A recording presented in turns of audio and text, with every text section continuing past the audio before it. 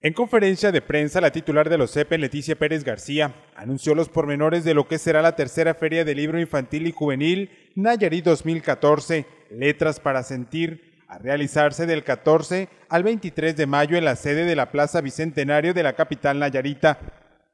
Estarán eh, varias editoriales. Muy importante resaltar que estará la UNAM, la Universidad Nacional Autónoma de México, como invitado especial. Va a dar un realce muy importante donde nuestra máxima casa de estudios a nivel nacional se hará presente en esta feria. Eh,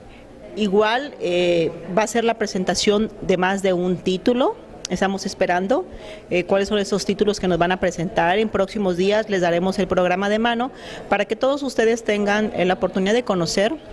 eh, el programa. Lo que sí podemos adelantar es que habrá visitas, guiadas para todos los niños, las escuelas que deseen participar. Hago una, llamada, una invitación a todos los maestros que quieran traer a sus niños a la feria. Está abierta para recibir a todos los niños que deseen acudir en estas visitas guiadas, 12 talleres donde eh, realizarán diversas actividades. La directora de los CEPEN explicó que esta feria del libro está integrada por las diversas actividades como lo son dibujo, pintura, expresión oral y escrita, cuentacuentos, es decir, actividades lúdicas recreativas que desarrollan el pensamiento lógico matemático que promueven la lectura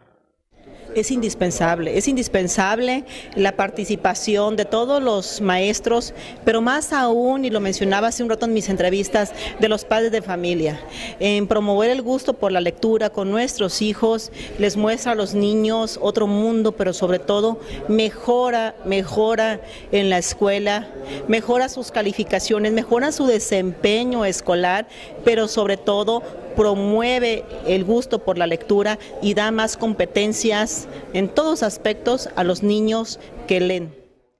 Finalmente, la directora de los servicios de educación pública en el Estado explicó que más que saber sobre cifras de cuántos nayaritas y qué promedio de libros leen al año, lo importante es que se ataca esta ausencia de la lectura. Esta feria de libros, sin duda, sin duda, va a permitir que estos índices se muevan en positivo las actividades que realiza el gobierno de la gente a través del SECAN, a través de la Secretaría de Educación, de los CEPEN, del DIS, de todas las instancias que tienen que ver con el gusto por la lectura, sin duda abonan positivamente para que estos índices se muevan en positivo, pero lo más importante, que el resultado se vea en la escuela, eso es lo importante. Más que hablar de índices, que a veces se puede hablar eh, muy bonito en los índices, el resultado que lo veas tú como padre de familia familia, que lo vea yo como madre de familia en, en un mejor aprendizaje para nuestros hijos. Yo hago un llamado muy respetuoso a todos los padres de familia para que eh, promovamos más el gusto por la lectura de los niños, pero sobre todo una atenta invitación a que acudan a la feria del libro, pero que también compren libros, hay libros muy económicos.